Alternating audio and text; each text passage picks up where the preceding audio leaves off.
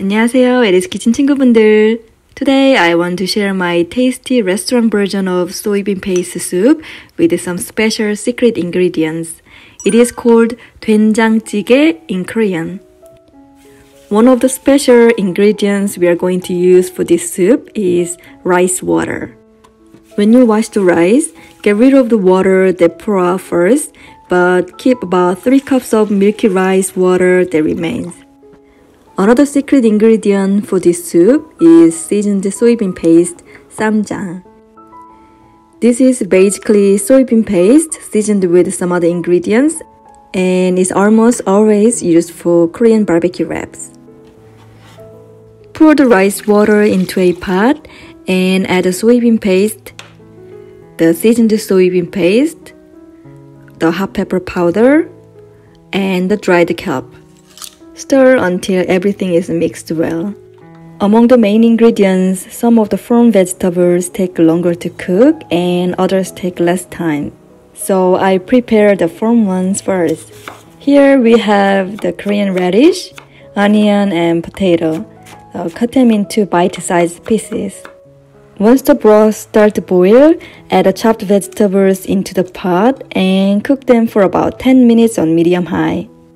Meanwhile, chop the soft main ingredients such as tofu, fresh shiitake mushrooms, and the zucchini. Cut them into bite-sized pieces. You can use other kinds of mushrooms you like, or you can even use chopped beef or clams instead.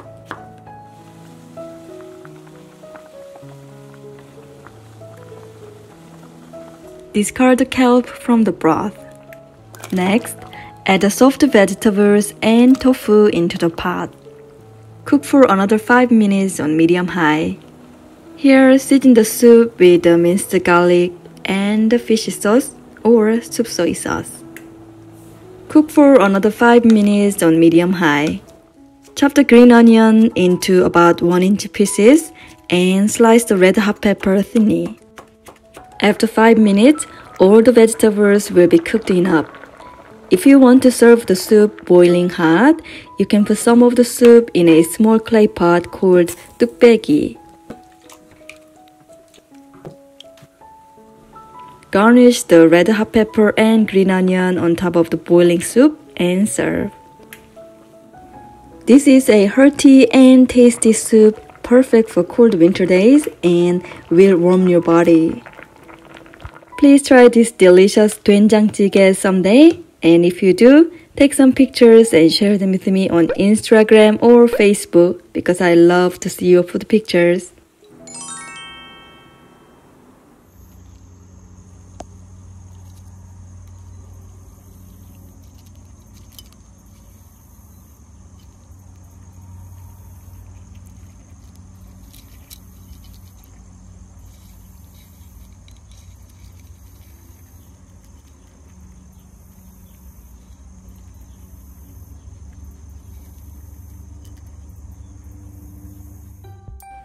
Thank you for watching. See you soon again.